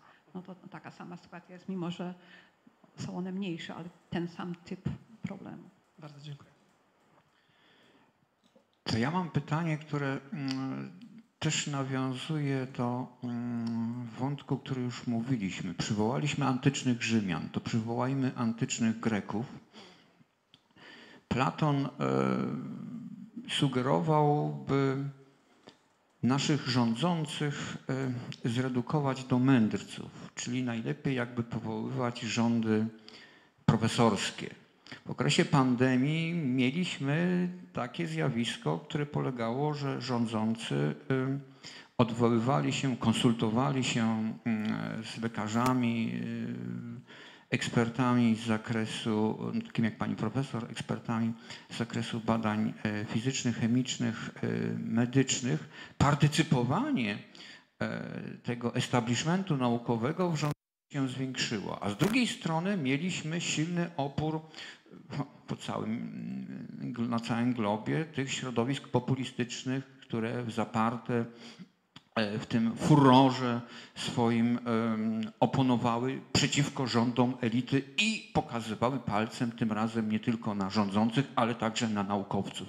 Oni siedzą y, w jednej łódce i mają krew na sumieniu. Jak pani profesor, która, która e, no, z tymi swoimi osiągnięciami takimi stosowanymi, czyli y, takimi mm, no, wymiernymi, które trochę na tacy y, przynoszą rządzącym pewne gotowe rozwiązania, pod którymi oni muszą, muszą się tylko podpisać e, lub politycznie e, zatwierdzić. Czy jest to szansa dla nas jako ludzkości, że politycy będą się bardziej słuchali e, tego ratio niż głosu emocji? No, jest to pytanie, które ma parę różnych elementów. Ziomów. Tak, e, tak. Znaczy, im bardziej politycy są wykształceni, to tym lepiej, bo wiele dowodów takich, takich było, czy widziałam właśnie, gdzie polityk wykształ, wykształcony, bardzo wysoko wykształcony, widzi inaczej obraz. I nie tylko to, że widzi inaczej obraz, ale też widzi swoją inaczej rolę w społeczeństwie. Bo nie jest, powiedzmy, jeżeli ma wykształcenie, to może czymś się przyczynić do społeczeństwa, nie tylko jako polityk, który ma mandat polityczny. Najgor- Najgorsza jest sytuacja, jeżeli ktoś jest zawodowym politykiem i w związku z tym jedynym celem takiego człowieka jest to, żeby no, kontynuować swoją władzę polityczną za każdą cenę. Więc to jest najgorsze. Także w każdym razie wykształcony, wykształcony, wysoko wykształcony polityk to jest bardzo dobra sprawa. Jeśli chodzi o sytuację w czasie pandemii, to nie jest tak, że politycy się zwracali do naukowców, co robić. Wręcz przeciwnie, politycy w większości krajów w ogóle nie chcieli słuchać naukowców. W Australii w żadnym, znaczy, no teraz się rząd wreszcie zmienił, ale ile razy usiłowałam rozmawiać z rządem federalnym, rząd, rządami stanowymi, po prostu w ogóle, w ogóle tak jakby nie istniała. E, Dopiero jak media naświetla, naświetlały coś. To nie jest to, że oni mają gotowe rozwiązanie, oni tego rozwiązania wcale nie chcą. No bo jeżeli powiemy, inaczej, oczywiście pandemia musi być kontrolowana przez, róż, przez różne sposoby, No, szczepionka nie tylko, ale w każdym razie, jeżeli powiemy im, że coś trzeba zrobić na temat przepisów dotyczących wentylacji, no to jest to duży problem, no bo muszą, muszą, no, muszą te przepisy jakoś ustanowić, e, muszą jakieś być nakłady. Ile problemów się stworzy na ten temat, no to po prostu lepiej udawać, że tego to w ogóle nie istnieje. I taka sytuacja była w Australii właściwie dotychczas, oprócz stanu Victoria, który bardzo do tego. Że to nie jest to, że politycy rozwiązań, tylko politycy starają się nie widzieć rozwiązań, które im e, dodają e, kłopotów. Także e, ten, ten element jest nieco inny. Kwestia tego, tego, co się dzieje, tych populistycznych i społeczeństwa słuchające do fake news i tego wszystkiego innego, teo- teorii konspiracyjnych, e, i które się potem przenosi na naukowców, no bo jeżeli właśnie przeczy, ktoś przeczyta, że jacyś naukowcy coś tam i to jest nie tak, no to wtedy się to, znaczy to jest fenomen, którego rozwiązania nie bardzo widzę, no i to jest fenomen naszych czasów, znaczy zawsze były jakieś jednostki, ale teraz przez szybkość rozprzestrzeniania się informacji przez, przez, przez te media i informacja typu właśnie tak te fake news, które może być no bardzo taka interesująca i to bardziej, znacznie łatwiej zaabsorbować, niż co jest prawdą. I co z tym zrobić? Także jak mówię, to już nie jest kwestia tego naukowców, ty, ty, ty, tylko po prostu co zrobić, żeby ludzie y, słuchali źródła prawdziwych informacji, a nie fake news, to na ten temat, szczerze mówiąc, nie wiem, co z tym zrobić. Znaczy, mnie się wydaje, że ogólnie wyższe wykształcenie społeczeństwa jest bardziej istotne. Tego fenomenu nie było, jak powiedzmy, no, ci ludzie, którzy teraz e, czytają te fake news, byli w szkołach, no to, to nie istniały metody rozprzestrzeniania fake news. Więc mi się wydaje, że to powinno istnieć od samego początku w szkole nauczania tego, żeby człowiek był w stanie rozróżnić, co jest prawdziwą wiadomością, a co jest fake. I nauczyć się nawigować w tym świecie i, i szukać, ale jest, jest to coś szalenie trudnego i w niektórych krajach, takie, ta sytuacja w Stanach na przykład jest w tym momencie no, katastrofalna. E, Także na to specjalnie rozwiązania nie widzę. No tak, teraz jest to bardzo wielki problem. E, Każda dziedzina nauki, i nie tylko, bo społeczeństwo też z różnymi fake, news, fake newsami się e, zmaga. Kiedyś z kolegami próbowaliśmy rozwiązać ten problem na przykładzie znachorstwa. Dlaczego ludzie wierzą w znachorstwo, chodzą do znachorów? E, Miałem taką koleżankę onkologa, e, która mi opowiadała, e, w szpitalu klinicznym pracuje, która mi opowiadała, że notorycznie, jak była moda na cieciorkę, to przychodzili pacjenci leczący się cieciorką, jak była moda na kapustę, to w ciężkich e, stanach onkologicznych przychodzili obłożeni kapustą. I skąd to się bierze? No próbowaliśmy znaleźć ten, e, tą przyczynę. E, No przyczyn jest wiele, bo to jest złożona etiologia, jak to mówią lekarze. Problem jest złożony, ale jednym z czynników, przynajmniej w, w przypadku chorób zdrowotnych, chorób generalnie, to tak ja myślę, że to jest też problem z dostępnością lekarzy, przynajmniej u nas w kraju. No jak człowiek nie może dostać się do lekarza, boli go, no to szuka w, u wujka Google informacji, znajduje znachora, idzie do znachora i tak się najczęściej zaczyna. E, No bo jeżeli sprawa jest nagląca, a jeszcze nie daj Boże jest to sprawa intymna, no to ludzie zaczynają szukać sami. E, Tu kapusta, tu cieciorka i potem przychodzą w stanach zaawansowanych, gdy już jest za późno. Niestety tak jest bardzo często. No ale to jest złożony problem. To ja jeszcze mam takie intymne pytanie, ponieważ e, oscylujemy tu wokół transmisji e, cząsteczek, czyli tym, co Platon kojarzyłby z oddechem. A gdzie pani profesor ma swój prywatny oddech między badaniami naukowymi? Natura, wszelka forma e, obcowania z naturą, spacery, wycieczki, jazda na nartach, pływanie. Jest mi to szalenie potrzebne. Zwła- Zwłaszcza wycieczki piesze, czy nawet nie, niekoniecznie wycieczki, nie, nie musimy mówić, że wycieczka, powiedzmy pójść, przejście. Nieraz jest tak, że jak wiem, że mam do rozwiązania, znaczy coś, co koncepcyjnie muszę przemyśleć, to em, zostawiam sobie na tę część dnia, kiedy mogę pójść, mam taką górkę e, w Brisbane, gdzie mieszkamy, także to jest mniej więcej godzina i tam bardzo mało ludzi spotykam e, w, czasie tego spaceru, więc zostawiam sobie ten temat właśnie przed tym spacerem, jeszcze sobie przeczytam w ostatnim miejscu przed wyjściem. Jak zaczynam iść, to gdzieś jakby się coś otwierało w mózgu, także nieraz jeszcze pierwsze 10-15 minut i ja już od razu mam koncepcję. Także sobie nieraz to zapisuję, czy, czy na komór, e, komórce nagrywam, ale w każdym razie ta forma właśnie po by, byciu z naturą jest dla mnie szalenie potrzebna. To ostatnie pytanie akurat. A, proszę bardzo.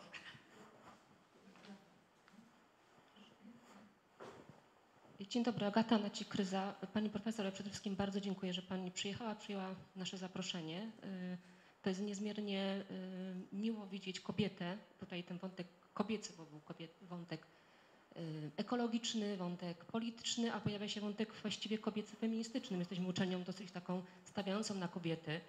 I chciałam Panią zapytać, jak to jest, że Pani, kobieta, profesor, y, pociągnęła w tym marcu 2020 roku 240 y, naukowców do tego, żeby podjąć pewne działania. Jak to jest być kobietą fizykiem jądrowym w środowisku, które wiemy, badania europejskie mówią, ostatnie raporty pokazują, że tylko 30% y, profesorów tym momencie, w 2021 czy drugim roku to są kobiety. Mówimy to o Europie.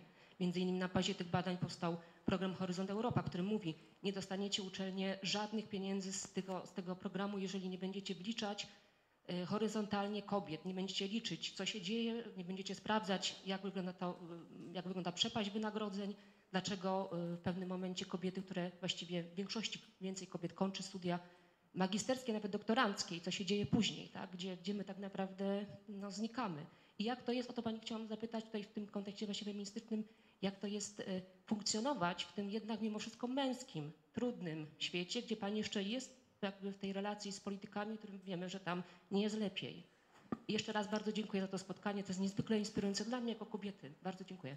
Dziękuję bardzo.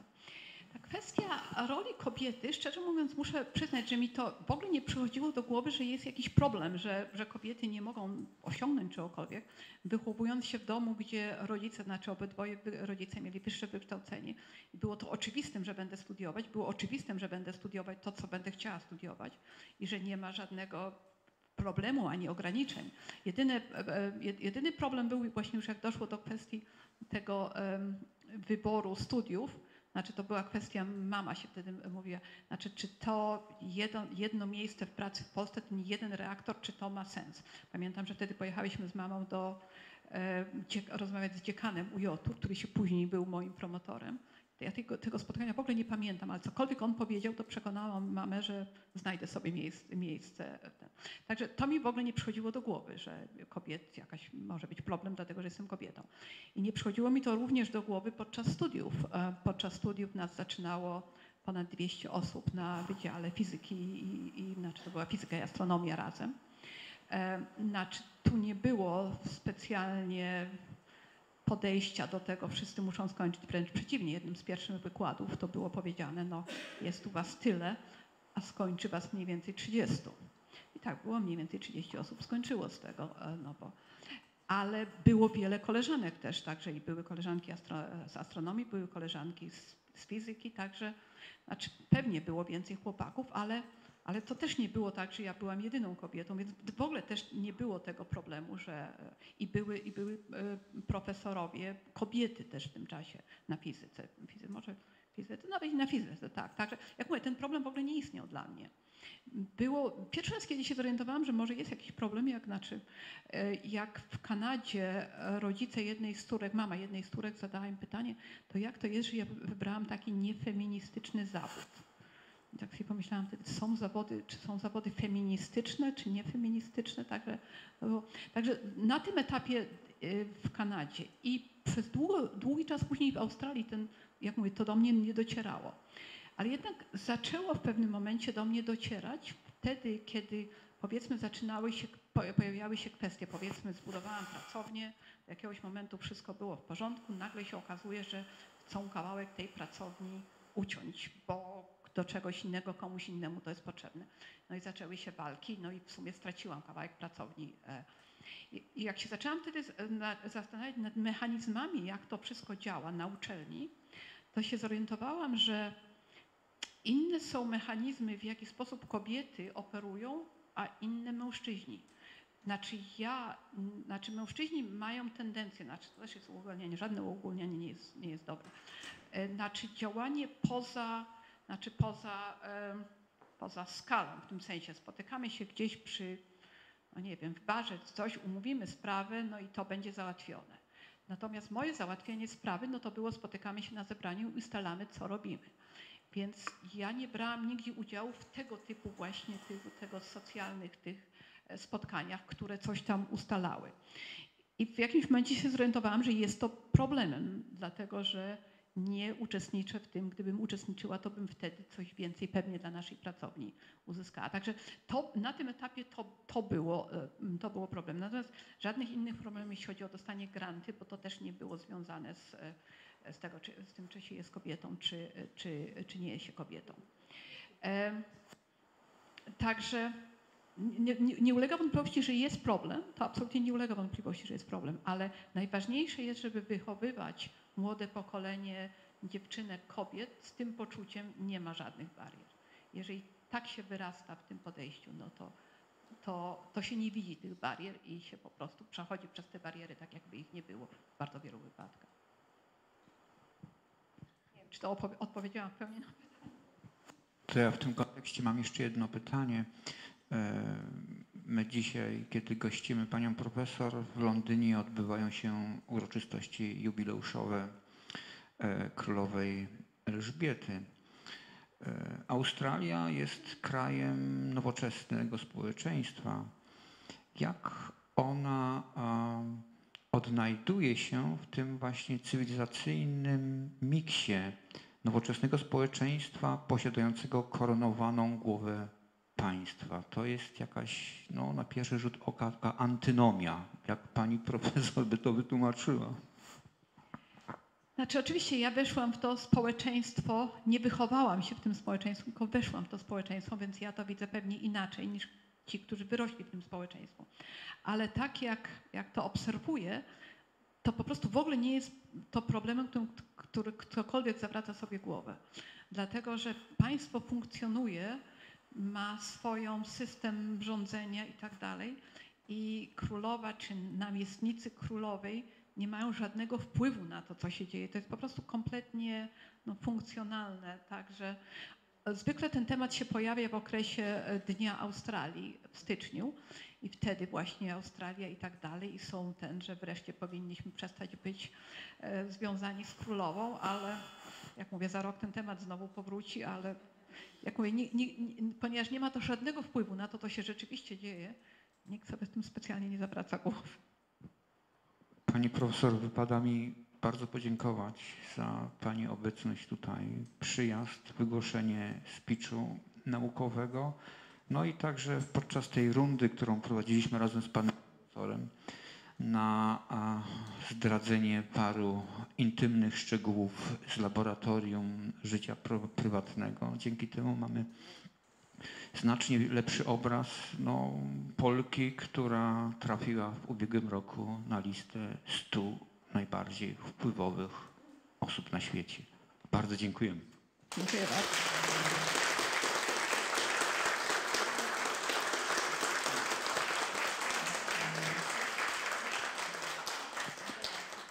Dziękuję bardzo za zaproszenie. Jeszcze chciałam powiedzieć, prawdzie nie było pytań z sali. Ja przypuszczam, że sala była trochę onieśmielona całą tą sytuacją, e, ale jeżeli Państwo by mieli jakieś pytania, to po prostu proszę mi wysłać e-mail. Może nie odpowiem jutro czy pojutrze, ale postaram się na pewno odpowiedzieć na e-maile. Dziękuję bardzo.